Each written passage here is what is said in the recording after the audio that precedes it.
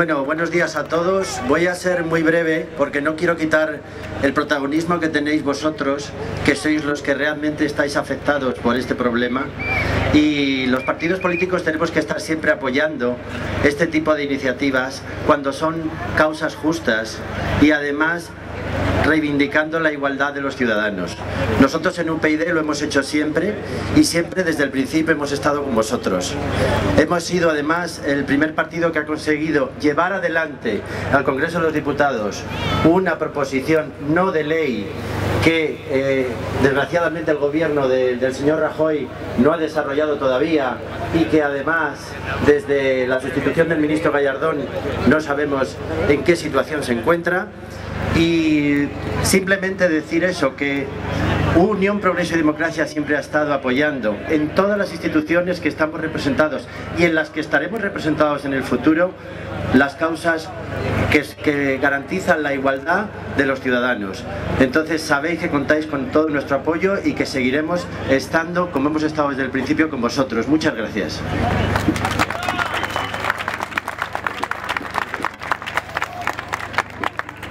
Y más. Primero, recordar a quien por desgracia no está, ¿vale?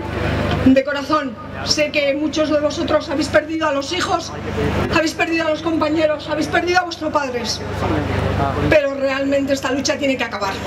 Tiene que haber una ley que lo regule y esperemos que lo que está tardando tanto en salir sea realmente algo bueno, porque si no os aseguro que lo poco que me queda de vida me van a oír en la calle y donde haga falta.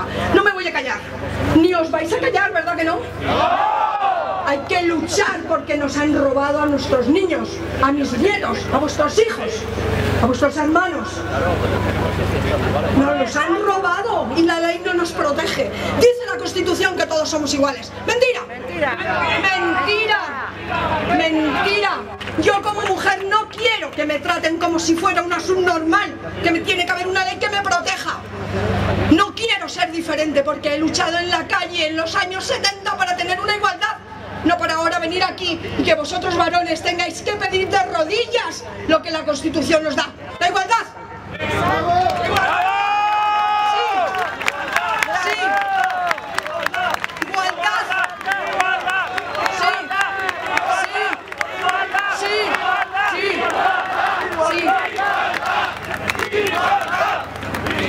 Sabéis, hay gente que se ha quedado en el camino, pero tenemos la fuerza los que estamos aquí para continuar. No me han dado más información, pero sí os puedo decir que está a punto de caer una bomba. Una bomba informativa, claro, porque tenemos la poli ahí cualquiera. Y más yo que soy de Vallecas, fijaros lo que puede pasar. ¿Sabéis lo que dicen? Eso que me han dicho, que para mí es palabra de ley, es que va a salir una sentencia del Tribunal Superior, del Superior, y va a hablar de la custodia compartida, chicos. De la custodia, la que va a hacer que por lo menos no haya familias de primer grado y de segundo. De que seamos iguales y que nuestros nietos, como mi nieta me decía el miércoles pasado cuando me dijo, ya, ya quiero estar más tiempo. Y le dije, ay, hay un juez que es el que ha dicho el tiempo que tienes que estar. ¿Sabéis lo que me contestó con seis meses, seis años que tiene? Pues mándale a tomar por saco, ya, ya. Fuera tan fácil, cariño mío. Ya hemos estado en los juzgados pidiendo más tiempo para ti, pero el juez ha pensado que como está bien con mamá, ¿para qué va a dar más?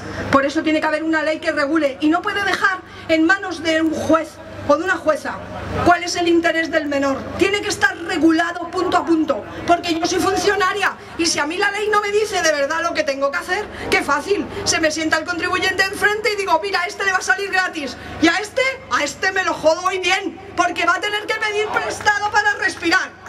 Por eso la ley tiene que especificar lo que es bien y lo que no es bien y que sea viable la custodia. Claro, si un padre viaja mucho o una madre viaja mucho y resulta de que solamente tiene cuatro horas al mes, pues está claro que no podemos hablar del 50 y 50. Pero hay más cosas que el horario, hay más cosas.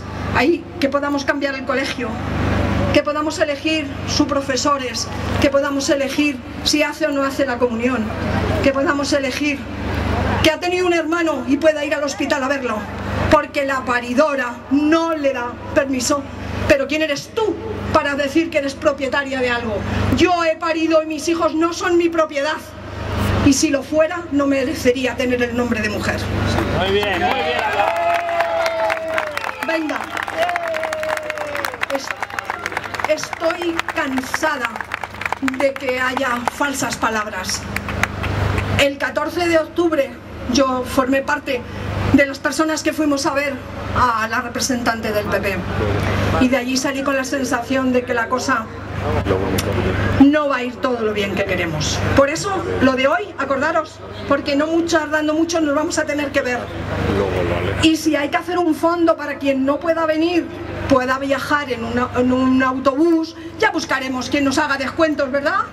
Sabéis que los abuelos nos respetan y nos quieren y vamos a seguir adelante para poder luchar por nuestros niños, que no dejan de ser vuestros hijos y vuestros hermanos, el tuyo.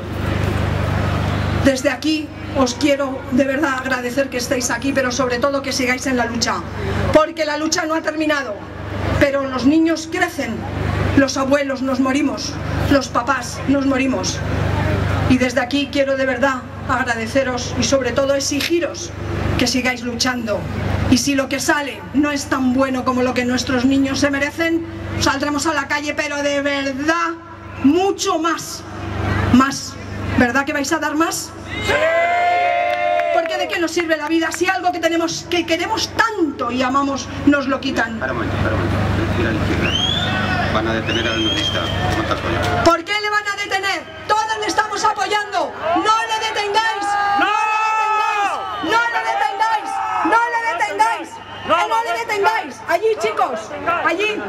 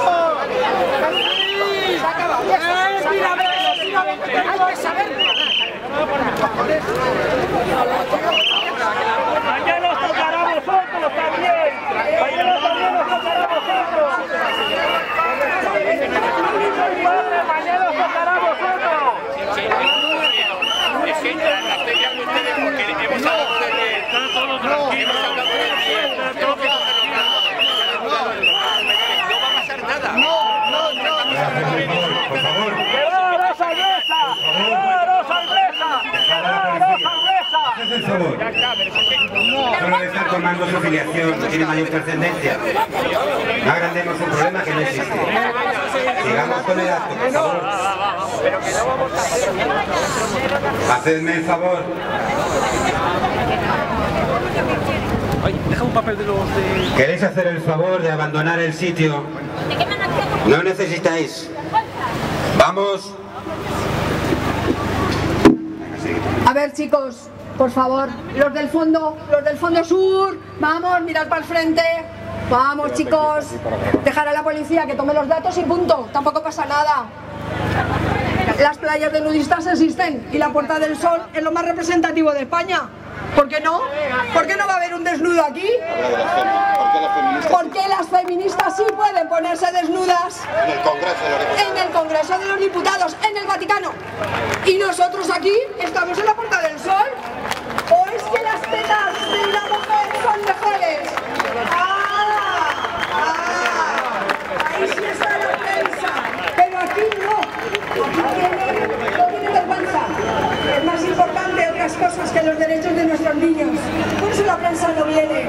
Pues ella se lo pierde. Porque aquí está la creen de la creen. Los luchadores. Los que no nos hemos aguantado con una ley injusta. Los que estamos en contra de las mentiras cuentan para llevarse más tajo, para llevarse más trozo de la tarta, sin pensar el daño que hacen en sus hijos. Porque esos niños crecerán con el dolor de pensar que a lo mejor su papá les ha abandonado, cuando su papá está luchando, pero no le deja la justicia. La justicia le pone cadenas y le detiene. Y nosotros vemos cómo nuestros hijos van poco a poco perdiendo la ilusión por vivir. Y llegan lo que llegan. Aquí tenemos compañeros que se han suicidado y lo sabéis. Porque de, de una forma o de otra nos ha tocado vivirlo. Por eso no tiene importancia el que una persona salga desnudo si es como le deja la ley. ¿O acaso no te deja la ley sin desnudo? Si tienes que pagar la pensión de tu hijo, que a eso nadie se niega si tienes que compartir el pago del piso en el que vive quien tenga que vivir menos tú que estás pagando, ¿eh? Y ahora encima tenemos unas sentencias por ahí que con 29 o 30 años le tenéis que seguir pasando dinero. Joder, qué mala suerte he tenido, he nacido tarde o pronto, porque no sé si hubiera entrado al juego. Pero yo me tuve que sacar mis castañas al fuego con 15 años y ahora ver que hay una sentencia del tribunal en la que dice que con 29 y 30 años le tenéis que seguir pasando la pensión. Vamos, vergüenza le tenía que dar a esa madre de haber presentado esa demanda. Pero estamos rodeados de malas mujeres, de malas hembras, de malas hembras, porque parir, paren hasta las hienas. Ser madre es otra cosa. Ser madre es estar luchando por sus hijos y no poniéndolos en contra de alguien que tanto les quiere como es su padre y su familia paterna. Ojo, también hay hombres que se las traen. A esos, a esos hay que colgarlos ahí. En vez de las 12 uvas de fin de año, los 12 peores. Ahí tenían que estar colgados, porque así vosotros no habríais pasado por lo que habéis pasado. Porque lo sabrían ya que no se puede hacer. No se puede pegar a una mujer, por supuesto, pero ni a un hombre, ni a un abuelo, ni a una abuela, ni a un niño, ni a una niña, ni al cuñado, ni al vecino de al lado. Porque para eso hay una ley en el Código Civil. Y la ley de violencia tiene que volver al Código Civil, de donde nunca tenía que haber salido. No puede haber una ley que hable de género. ¿De género de qué? Claro que hay maltratadoras y maltratadores. ¿Sabéis el dinero? Es que es un negocio. ¿Sabéis que los niños como no votan? No tienen negocio. Si nuestros niños tuvieran voto, ¿eh? ya la cosa sería diferente. Por eso tenemos que subir aquí a defenderlos. Por eso tenemos que salir a la calle, a hacer lo que haga falta. Por supuesto, por supuesto. Claro, porque les va muy bien. Porque les va muy bien. Porque mi palabra tiene que valer más que la de él. ¿Por Si yo he pedido igualdad.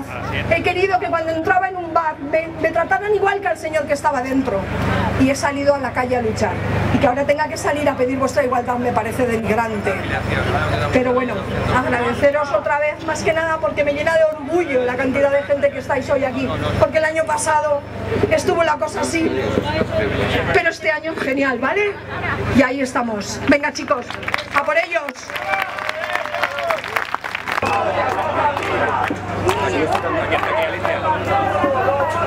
Bueno, toma la palabra Jesús García, como todos nosotros, víctima de toda esta canallada, dos veces preso preventivo, se ha salvado de la denuncia falsa porque iba con la pulsera antimaltrato y gracias a la pulsera y al GPS pudo demostrar que era mentira la denuncia. Como podéis imaginar, la falsa denunciante se fue de rositas y sus tres testigos falsos.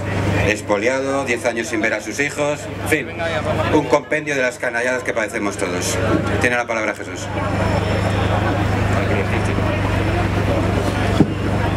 Déjame pasar. Buenos días a todos. Yo soy una cara conocida aquí ya. Todos más o menos nos conocemos de, cada año y felicitaros, daros la enhorabuena y el ánimo por estar aquí y por continuar aquí un año tras otro. Aquí falta mucha gente, faltan algunos que conocemos, que hemos tenido noticia, que han fallecido suicidados pero faltan muchos más que no se atreven a estar aquí por vergüenza. Por vergüenza, les da vergüenza lo que les ha pasado. Están bajo el estigma social de lo que les ha pasado. Y muchos, hijos ya mayores de edad, adultos, como los nuestros, concretamente como los míos y de otros compañeros, que jamás podrán estar aquí por vergüenza, por la vergüenza de haberse aliado y alineado con su madre para destrozar la vida, no solamente del padre, sino de la propia madre y de ellos mismos. Sí, sí, sí,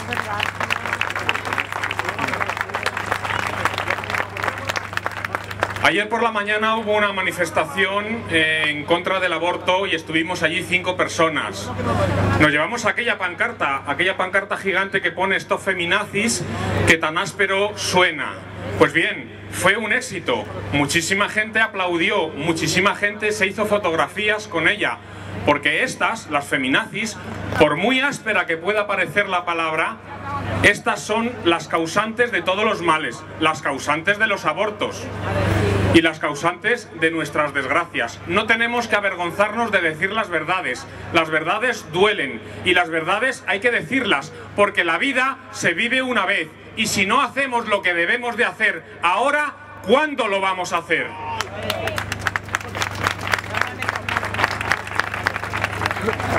Decía que las verdades duelen, duelen mucho, pero son necesarias decirlas, porque si no las decimos ahora, ¿cuándo las vamos a decir? Hay una cosa que todos estamos sufriendo, que es lo que llaman pensión de alimentos. Tenemos que tener claro el vocabulario. El vocabulario correcto sería extorsión de alimentos. Todos estamos siendo extorsionados. Tenemos que pagar unas cantidades que nos fijan en concepto de unos alimentos que en realidad a donde van esos alimentos es al bolso de la señora, los zapatos, el cine y la cena con el nuevo compañero y en muchos casos la hipoteca del piso que está disfrutando otra persona. Mientras que, lo que estáis, los que estáis pagando sois los que estáis aquí. Así que, ojo con eso. Pensión de alimentos no, extorsión de alimentos. Para que se nos vayan quedando claros los conceptos.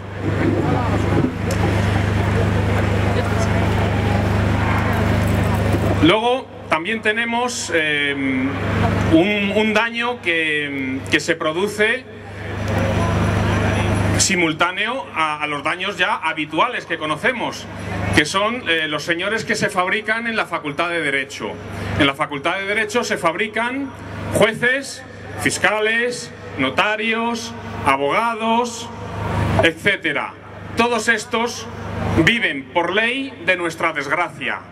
Es decir, todos ellos en una medida o en otra se están lucrando de la desgracia ajena. Son un instrumento necesario que la ley ha creado para terminar de expoliarnos económicamente y terminar de destruirnos anímica y moralmente. En muchos casos, sí.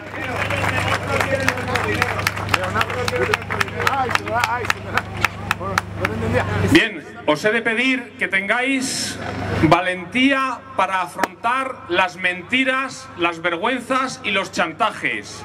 Como he dicho al principio, se vive una sola vez y hay que aprovechar esta vida para decir al que tenemos enfrente que nos está destrozando la vida, que nos está quitando la economía, pero algo mucho más importante que la economía que es la dignidad. ¿Eh? Tenemos que tener la valentía de decirles a estos lo canallas y los sinvergüenzas que son, tomando acciones que a veces pueden causarnos miedo, pero miedo no tenemos que tener a nada, porque todos los que estamos aquí vamos a morir, ninguno nos vamos a quedar aquí. Tenemos que aprovecharnos de esta circunstancia y decirles a la cara lo que son y el mal que hacen, porque si no hacemos esto, nunca vamos a parar con esta sinvergonzonería.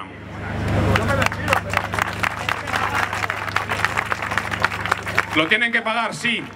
Y por más años y por más vidas que vivan, jamás pagarán ni mínimamente el tremendo daño que están haciendo y que han hecho.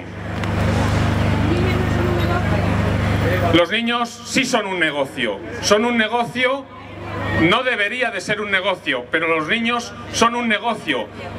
Se dice falsamente que los niños son los principales perjudicados. ¿Eh?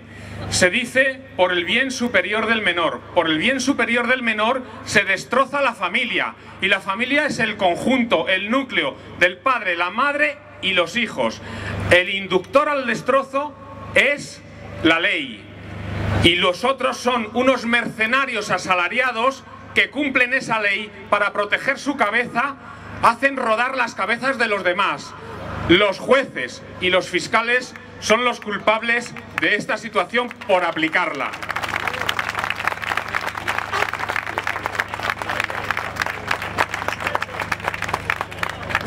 Los niños crecen, los niños se hacen mayores y los niños han sido expoliados económicamente por el sistema legislativo. Porque muchos padres ¿eh? lo que hemos hecho y hemos pensado es que estos no son merecedores de nada. Han expoliado la familia por causa de las denuncias falsas y de la mala idea de las madres, de una parte. Y de otra parte, estos hijos por los cuales se trata de velar el interés superior de ellos han sido unos desgraciados, puesto que la ruptura familiar ha ocasionado que ellos se queden sin gran parte del poder adquisitivo que se lo han llevado los abogados. Esa inmensa cantidad de dinero que los abogados se han llevado ya no queda en beneficio del menor. Y ese conflicto que se ha generado va en perjuicio del menor. Luego nos están vendiendo exactamente lo contrario de lo que nos dicen. Para finalizar, invitaros a que cada año sigáis en pie, que aunque vuestro problema se solucione, os veamos año tras año aquí, en esta manifestación, que somos una mínima parte de los que deberíamos de ser, porque como he dicho antes, muchísimas personas, muchísimos hombres que se han mostrado a favor de las criminales leyes de género jamás podrán aparecer aquí por la vergüenza que sentirán porque nosotros los echaríamos. Que tengáis la valentía de estar enfrente de aquel que nos hace daño haciendo acciones que son muy sencillas como las que hemos hecho algunos de nosotros y que habéis podido ver en el canal de YouTube poniendo en evidencia a las falsas denunciantes como pueda ser la esposa de este señor que está aquí delante grabando un vídeo ya en YouTube con 400.000 visitas donde se vea las claras las mentiras para que luego nos vengan y nos digan que las denuncias falsas no existen. No tengáis miedo de nada. Seguid siempre adelante en esta lucha, acompañándonos y siendo lo valientes que aquí estáis siendo.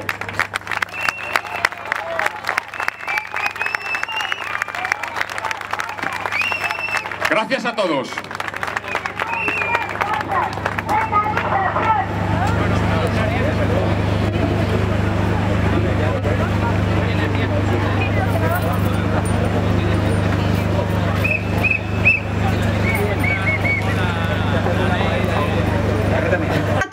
Venir aquí en este día porque esta lucha es muy, muy grave y muy fuerte. Por el nombre de las mujeres maltratadas se ha hecho esta ley. Una ley que nos ha utilizado a nosotras.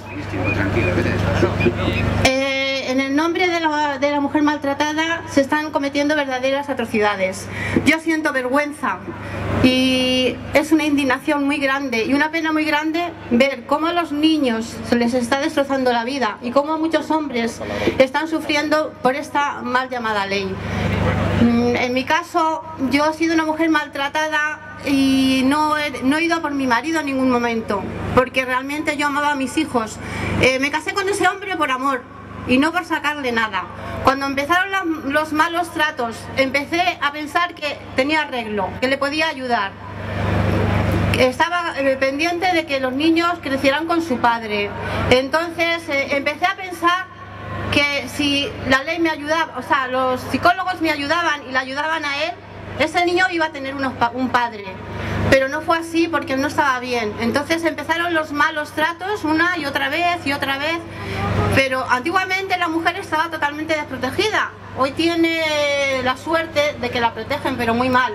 Porque es que la están adoctrinando para que denuncie a la primera de cambio. Una discusión no es un maltrato. Un te vas no es un maltrato. Las mujeres a veces discutimos y los hombres también. Y en la familia se discute. Entonces la cuestión es arreglar las cosas, no ir a, a, destrozar la vida de nadie, ni a los hijos ni a los padres. Entonces todo esto que está sucediendo es, es indignante, porque la vida de los niños están causándoles muchos traumas infantiles, porque les quitan a los padres. Los padres tienen que crecer con los niños. Los niños no tienen la culpa de nada. Tú como mujer te puedes llevar mal con tu marido, pero el niño tienes que proteger a ese niño y tienes que cuidar de ese niño. Los niños son el futuro nuestro y actualmente en la actualidad hay muchos niños que están pasando por muchas pruebas de psicólogos porque los están mal metiendo contra su padre, que los hijos, que tu padre no te quiere, que tu padre no me está maltratando y es mentira, porque todos los casos que estamos viendo, o sea, constantemente es mentira, una detrás de otra. No lo vamos a permitir. Las mujeres que tenemos dignidad renunciamos a esta ley. Yo renuncio a esta ley porque no nos favorece. Muchísimas mujeres ¿verdad? que siguen muriendo. No está a favor de la mujer, está a favor de los políticos y a favor de, de, del gran negocio que se ha montado. Por eso vamos a unirnos todos, todas las mujeres que tengamos dignidad y vergüenza, vamos a decir no queremos esta ley, queremos justicia, queremos igualdad, queremos que se cumpla la Constitución, igualdad para todos, protección Los niños tienen derecho a estar con sus abuelos paternos y maternos. Los niños tienen derecho a tener una familia. Y muchas gracias porque mm, estoy... Mm, Estoy triste, ayer es una reunión, vi a padres llorar porque lo han quitado a sus niños, vi el sufrimiento tan enorme que esta, que esta ley eh, está generando y, no, no, no, voy a seguir más, pero realmente, o sea, como no lo luchemos todos, todos, que nos unamos todos, no vamos a hacer nada. Todos contra esta maldita ley que está, que, que está la gente se está suicidando por ella y se están quedando en la calle. Ya está bien que las mujeres se aprovechen, que se queden con la casa, que se queden con el dinero y que se queden con los niños, porque los niños no los quieren. Si quisieras a tus hijos, harías todo lo imposible porque tuvieran un padre y una madre y que tuvieran una buena familia. Muchas gracias. Y adelante todos a luchar.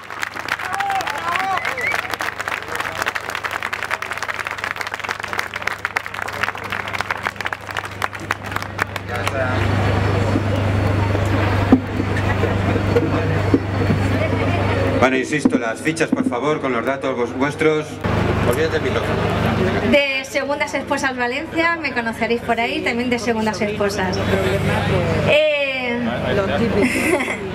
Bueno, pues mi caso en particular, yo estoy a favor de, de que la, un poquito la, la, ley cambie, sobre todo por las, las que somos las segundas esposas y nos casamos con un divorciado, como muchos de vosotros con, que tiene antecedentes con una es un poco problemática, ¿vale? Eh, el aprovechamiento, mm, después de 20 años divorciados que llevaba mi marido, pues el que se aprovechara, tanto la hija como, como ella, la es, de, la muerte de mi esposo, me queda en la ruina, han sido seis años luchando judicialmente que he ganado, pero me han dejado, bueno, sin nada, ¿no? Comparto mi pensión de viudedad con, con la ES, ella un 60% y yo un 40%, ¿vale? Yo tengo hipoteca, yo tengo gastos, yo me metí en una vida nueva, después pues una relación, pues ya cuando somos adultos, ¿no? Ella se quedó con todo pagado por mi marido, pero que en fin, tampoco me importa. Ahora mi lucha empieza con, con la seguridad social. No me escucha, no me contesta a mis escritos, solamente quiero mi pensión de viudedad entera, porque soy única viuda de mi esposo.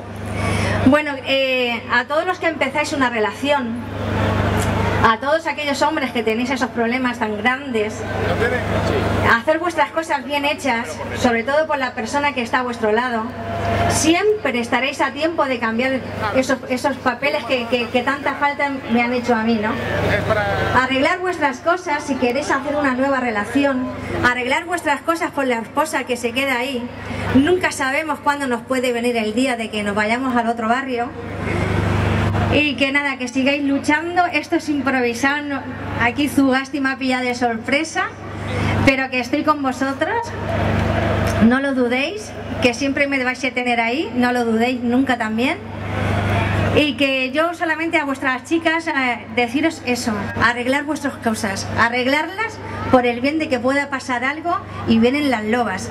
Ya que la ex de mi marido, por ejemplo, estando tres años muerto, lo quiso denunciar por violencia de género, ¿vale? Sí, todo por todo por lo material, todo era por dinero, por para no para que yo no tuviera nada, pero bueno, el Estado en ese momento me lo dio a mí como me reconoció como viuda. Pero que sepáis que aún muertos siguen y siguen y siguen, no van a parar. Si ahora están ahí, volverán, volverán y volverán. Y si vais a morir, Dios no lo quiera, ¿no? Bueno, el, o el universo, seguirán, seguirán. Mi marido llevaba tres años muerto y siguió. ¿Ven? Agradeceros vuestra instancia aquí y os quiero. Hasta luego. Que vengo en nombre de todos los niños maltratados. Que hay esperanza. Mi madre me pegó, sí. Ha hecho todo lo malo, pero ningún juez ha hecho nada. Estoy aquí para pedir a los jueces que hagan algo. Pedir ayuda, no pasa nada. No tengáis miedo. Y solo eso y simplemente custodia compartida y que sea rápido. Muchas gracias.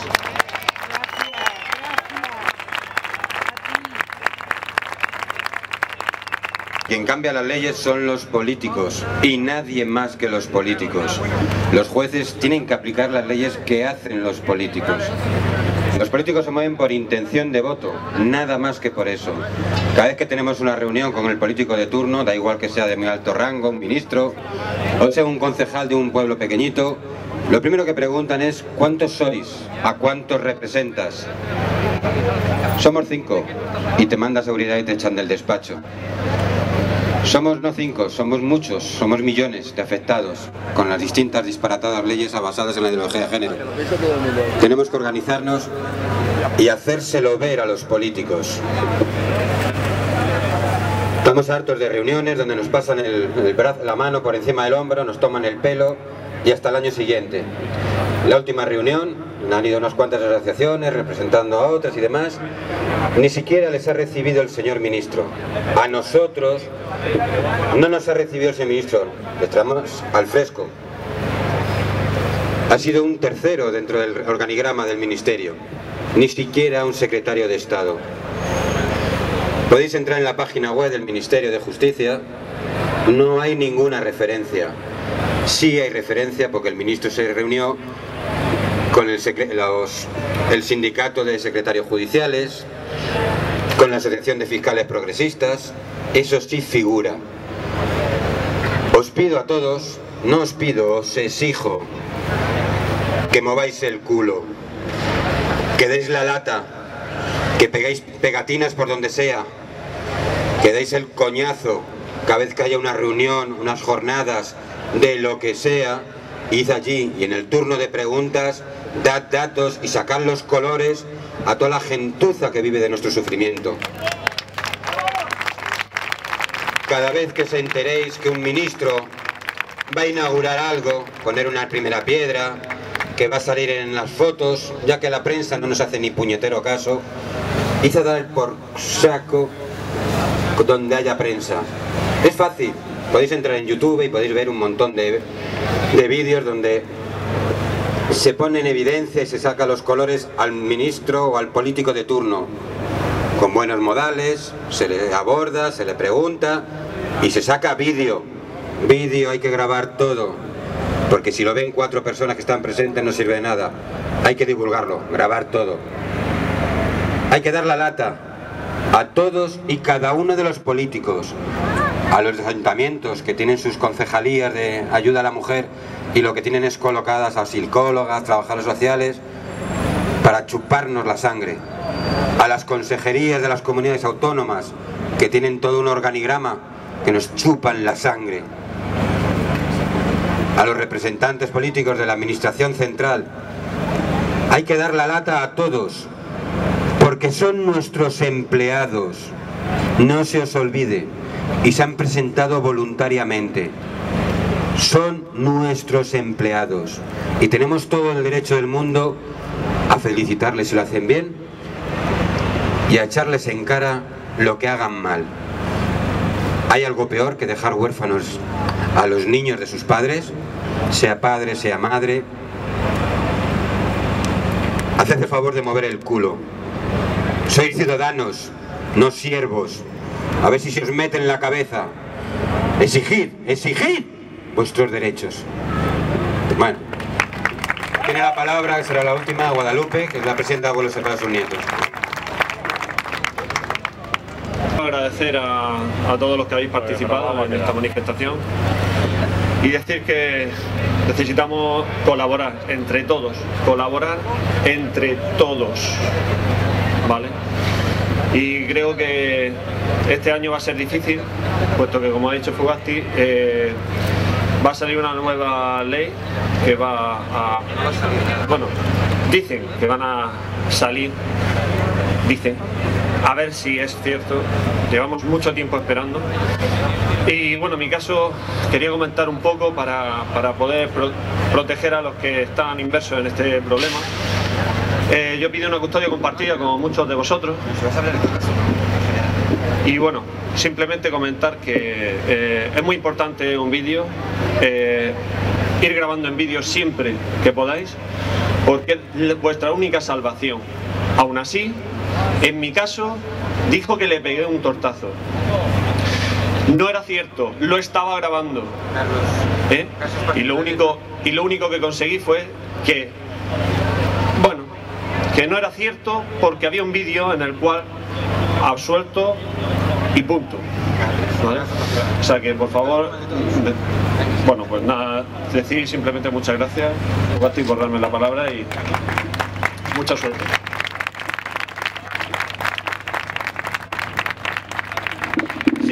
Las gracias a todos otra vez, como os las han dicho ya mil veces. Eh, los, los pocos globos que nos quedan, o podíamos hacer algo, bueno, así como simbólico, que es soltarlos como nos han dejado nosotros y nuestros niños. Y bueno, soltarlos cuando, ahora cuando termine. Segundo, bueno, yo tengo poco que decir a lo que ya se ha dicho. Lo único que sigo insistiendo es que no se haga trata de niños en los juzgados. Los niños ni se venden ni se compran. Los niños son niños y hay que proteger su infancia. Y somos nosotros, los padres y los abuelos, los que tenemos la obligación de defenderles. Y, tenemos que estar hoy por hoy más unidos que nunca. Tenemos en ciernes un nuevo proyecto de ley y tenemos que demostrar que estamos unidos. Seamos de donde seamos, de Madrid, de Cataluña, del País Vasco, de Galicia o de Cuenca. Nos da lo mismo. Tenemos que estar unidos. Hoy han hecho un gran esfuerzo muchas asociaciones que han venido de muchos puntos de España. Pero como los bolsillos están muy mermados, bueno, han podido asistir poquitos, pero aún así tenemos que estar unidos y cualquier, como ha dicho Zugasti, en cualquier momento, en cualquier ce- celebración, en cualquier meeting, tenemos que tener acto de presencia y estar más unidos que nunca por los niños. Algún día nos lo agradecerán, ¿de acuerdo? Así es que si nos importa, soltamos los globos. Por ellos.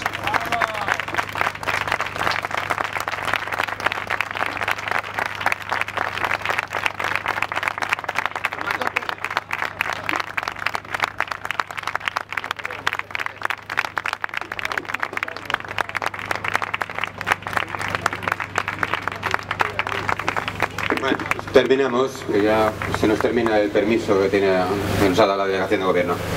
Nuevamente, daros las gracias a todos por vuestro esfuerzo. Somos los poquitos que movemos el culo, a ver si conseguimos que seamos más.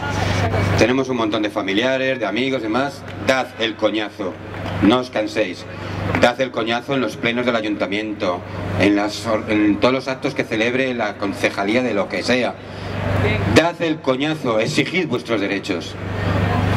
Traed las fichas si sois tan amables, todos los bártulos, dejarlos en el coche escoba, en, el en la furgoneta blanca, no os llevéis nada, por favor. Y una vez más, daros las gracias, pediros perdón si he sido desagradable en algún momento, pero en fin, lo llevo en los genios, que se le va a hacer. Y nada más, tengáis buen viaje de vuelta y nos vemos en la próxima ocasión.